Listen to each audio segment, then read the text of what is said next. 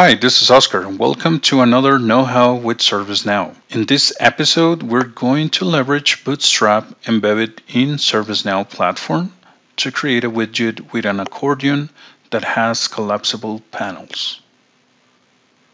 Based on the documentation from Quebec release, ServiceNow has embedded Bootstrap version 336. And we're gonna leverage Bootstrap in order to create this accordion. So we have three collapsible panels and we're gonna take the documentation from Bootstrap in order to build these collapsible panels in the service portal within ServiceNow.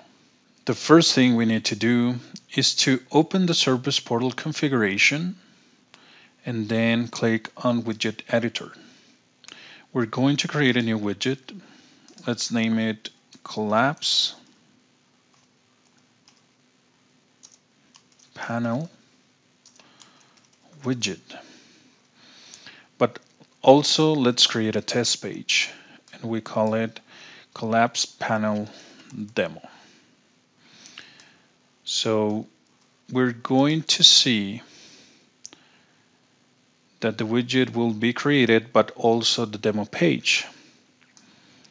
So let's just type hello, save it, and open the service portal and append the URL, the ID of the page we want to open. So there we go. We have our test page and we have our widget. So now let's copy the panel. So if we go back to the documentation for Bootstrap, what we can do is basically inspect the element and obtain the entire HTML code that we're going to leverage. We just need to find the exact one. So here we have as you can see, we have a div class accordion ID accordion example. So we need to copy this element, go back to our widget, and paste this entire code. And then we can just ident, save, and get back to the page.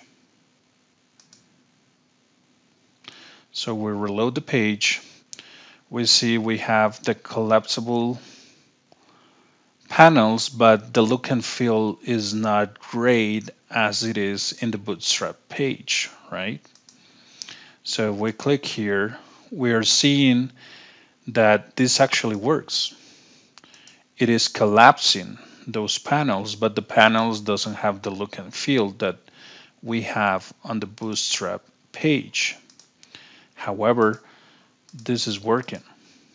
Okay, so let's fix the look and feel of this page. What we need to do is to go back to the HTML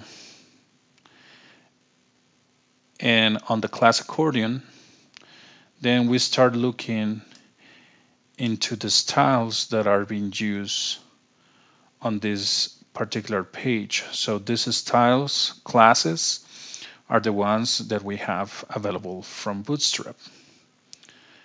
So for example, if we click on the card, we can see that we have styles that we need to copy. So let's do that. Let's right click, copy rule, go back to our widget editor. We don't need the server and we don't need the client at the moment. So I'm gonna hide those and I'm gonna bring the CSS. I'm gonna paste the card, CSS rule. And going back, then I see here another CSS rule I copied this one, I go back and paste it.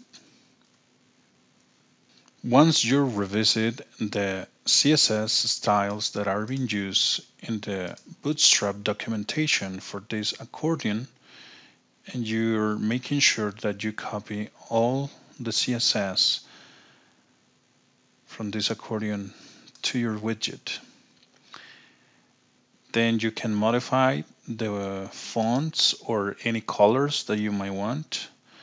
In this example, I have modified the font weight. I have just comment these lines of the CSS because the font was too small and after applying all those changes only on the CSS then the end result is the accordion in this widget so I can expand the three panels and I can collapse those three panels as you can see we're just using pure HTML CSS classes and CSS style sheet in the widget itself.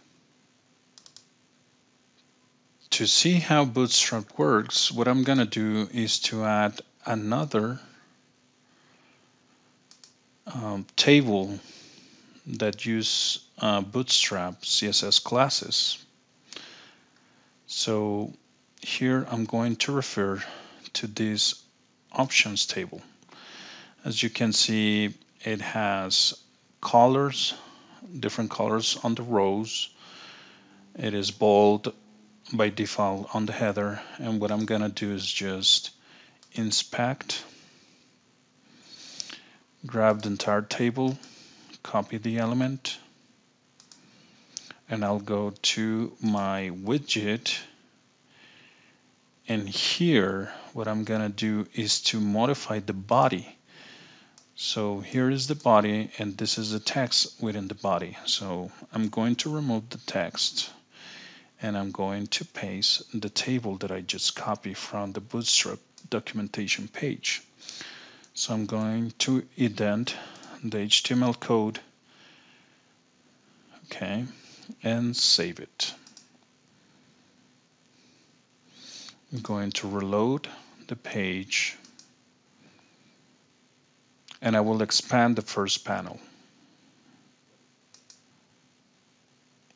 Now, as you can see, this is a collapsible panel and the content of this panel is a table using Bootstrap CSS classes and that's how you can leverage Bootstrap in ServiceNow.